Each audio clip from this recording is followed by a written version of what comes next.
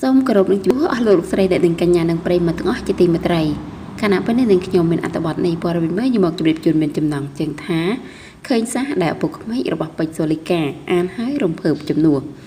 ចាមុននឹងចូលដល់អត្ថបទនៃព័ត៌មានសូមប្រិយមិត្តសូមជួយ Subscribe และនិង Share ដើម្បីទទួលបាននូវព័ត៌មានថ្មីៗជារៀងរាល់ថ្ងៃ។ ដោយដែលប្រិមិត្តបានដឹងរួចមកហើយថាប៉ុន្មានថ្ងៃនេះតារាចម្រៀងពេជ្រសូលីកាបានក្លាយជាប្រធានបទដ៏ក្តៅកគុកមួយ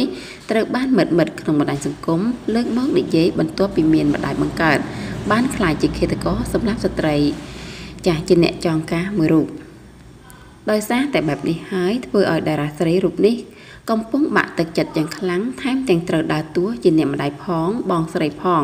មើលថែប្អូនស្រីតូចមួយរូបទៀតយ៉ាងណាមិញបើងាកមកមើលជីវិត របស់ពេជ្រសូលីកាមួយរយៈចុងក្រោយនេះ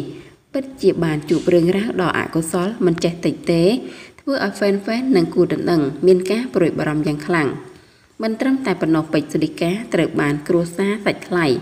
មានម្ដាយឪពុកបងប្អូនរបស់គូដណ្ដឹងសម្ដែងការបារម្ភដល់នាងខ្លាំងណាស់ក្នុងនោះដែរការពីម្សិលមិញឪពុកក្មេករបស់នាង បានបង្ហោះសារមួយអានឲ្យភ្លឺភ្នែកមានអត្ថន័យថាពិតជាក្រៀមក្រំខ្លាំងណាស់នឹងចូលរួមរំលែកទុកដល់គ្រួសារនៃសពហើយសូមឲ្យកូនស្រីពេជ្រសូលីកាឈប់យំទៅកូន ត្រូវគិតពីទីរកក្នុងផ្ទៃត្រូវចាំថាប្រសិនបើកូនចង់យំប៉ានឹងខ្លាចជាស្មានឹងត្រូវការកូនជានិច្ចក្រោយឃើញសារដែលឪពុកក្មេកចាបង្ហោះក្នុងអត្តន័យដ៏រំភើបបែបនេះហើយមានមហាជនជាច្រើនបានច្រណែននឹងតារាចម្រៀងរូបនេះដែលមានប៉ាចាដែលមានលោកប៉ាចេះយល់ចិត្តបែបនេះហើយជឿជាក់ថាពេជ្រសូលីកានឹងបានធូរស្រាលមួយកម្រិតថែមទៀតផងដែរ ចាហើយតកតងនឹងព័ត៌មាននេះក៏សូមបញ្ចប់ទៅត្រឹមនឹងចាសសូមអរគុណសូមគោរពលា